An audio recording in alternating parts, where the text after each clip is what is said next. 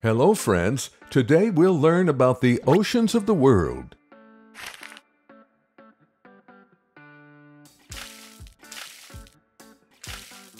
An ocean is a huge body of salt water. Oceans cover about 71% of the surface of Earth and contain almost 98% of all the water on Earth.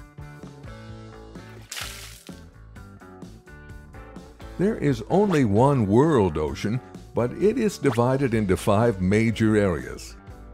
Let's see the ocean divisions one by one.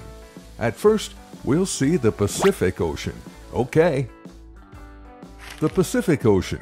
It is the largest and deepest of Earth's five oceanic divisions, covering about 50.1% of the world's oceanic water.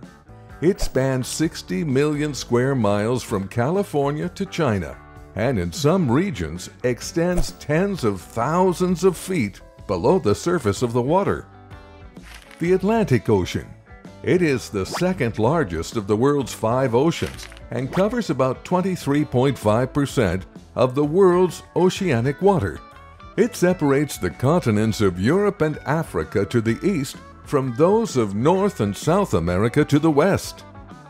The Indian Ocean it is the most warm and third largest of the world's five oceanic divisions, covering about 19.8% of the water on Earth's surface. The Arctic Ocean. It is the smallest and shallowest of the oceanic divisions, covering about 4% of the world's oceanic water.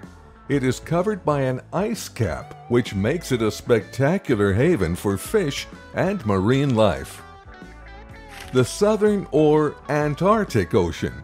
It is the youngest one and covers approximately 1 16th of Earth's total ocean area.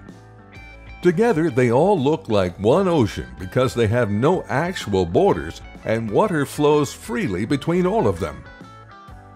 Ah, you cannot drink this water, buddy. Ocean water is salty. Let me explain why the ocean water is salty. Salt in the ocean comes from two sources runoff from the land and openings in the seafloor. Rocks on land are the major source of salts dissolved in seawater. Rainwater that falls on land is slightly acidic, so it erodes rocks.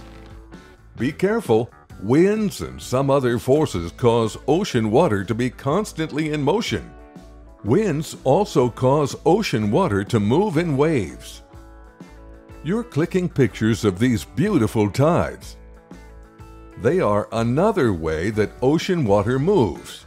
Tides are the rise and fall of ocean levels. A cute crab is coming. Let's study about the ocean life.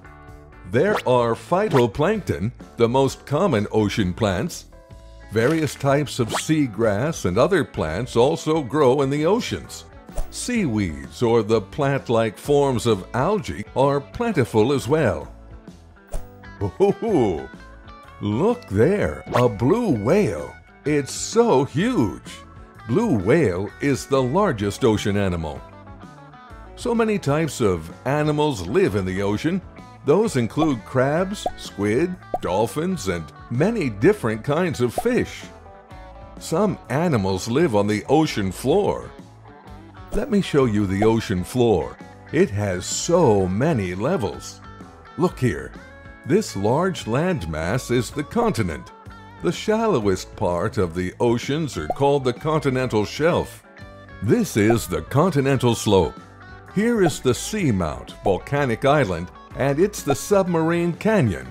This part is called the continental rise, which is made up of thick sequences of continental material.